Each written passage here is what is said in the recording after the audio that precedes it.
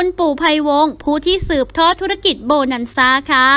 ปู่ไพวงตอบกลับชาวเน็ต หลังเข้ามาถามถึงหลานสาว อย่างน้องปีใหม่จะได้สืบทอดธุรกิจโบนันซ่าหรือไม่ เรียกได้ว่าแม้จะเลิกรากันไปแล้ว แต่ว่าก็ยังคงเป็นที่สนใจอยู่ตลอดเวลาค่ะสำหรับสาวแอปทักษะอ่อนพักสุขเจริญ อดีตคนรักของสงการเตชะนรงค์นั่นเอง และต้องบอกว่าถึงแม้ว่าสาวแอปและหนุ่มสงการนั้นจะเลิกรากันไป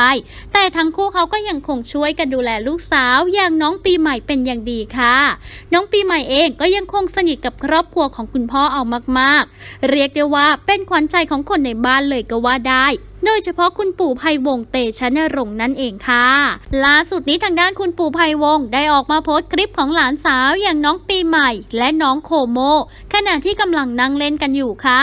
งานนี้ก็ไม่วายมีชาวเน็ตรายหนึ่งเข้ามาคอมเมนต์กลางไอจีของคุณปู่โดยถามเอาไว้ว่า ปีใหม่กับโคโมน่ารักมากค่ะคุณปู่ จะได้เป็นสิงห์น้อยแห่งโบนันซ่าอย่างที่คุณปู่หวังไหมคะ งานนี้ทางด้านของคุณปู่ไพวงษ์ ไม่รอช้าเข้ามาตอบกลับว่า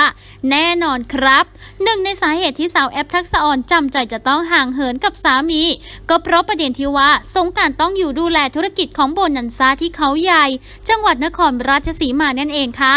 ซึ่งก็มีอย่างมากมายหลากหลายแขนง ทั้งโรงแรม รีสอร์ทสนามกอล์ฟสวนสัตว์ตลอดจนล่าสุดนี้คอนโดมิเนียมสุดหรูด้วย จึงขอนำทุกท่านนั้นเจาะลึกอาณาจักรแห่งนี้ว่า มีความเป็นมาอย่างไร และยิ่งใหญ่ขนาดไหนค่ะเปิดอาณาจักรโบนันซาเขาใหญ่ นายไพวงเตชะนรงค์ปิดาของหนุ่มสงการนั้น เริ่มทำโครงการนี้ตั้งแต่ปี